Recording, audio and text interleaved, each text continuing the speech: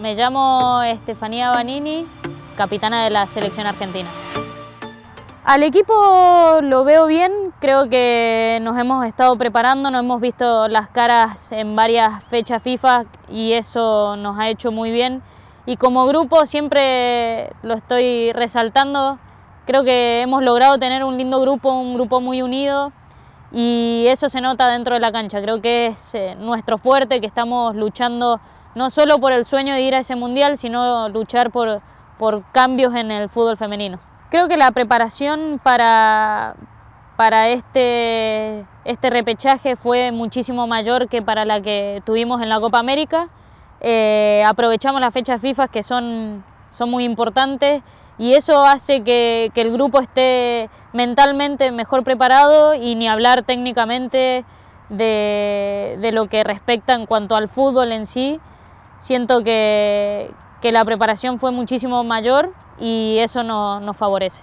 Siempre cuando, cuando hablamos de los partidos que, que nos vamos a enfrentar, eh, siento que tenemos que pensar más en nosotras que, que en el rival pero sabemos que va a ser un partido muy duro, tenemos un rival enfrente que, que sale mucho a las contras y, y tratan de aprovechar eso.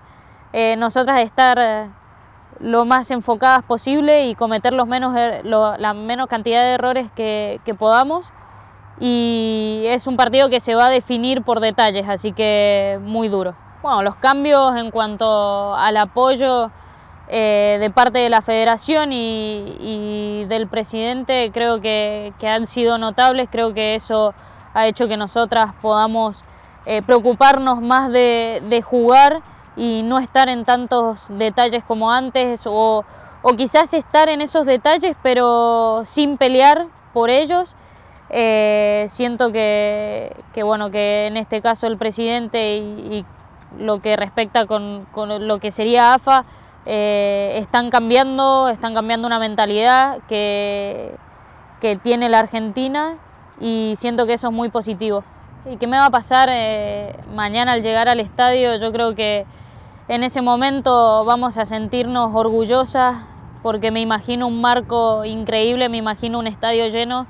Eh, sentirnos orgullosas de que, de que nuestro país está cambiando una mentalidad y, y, sentir el apoyo con esa, con esa camiseta, con estos colores que son el celeste y el blanco, creo que un orgullo tremendo, una emoción increíble y, siento que eso lo vamos a reflejar adentro de la cancha.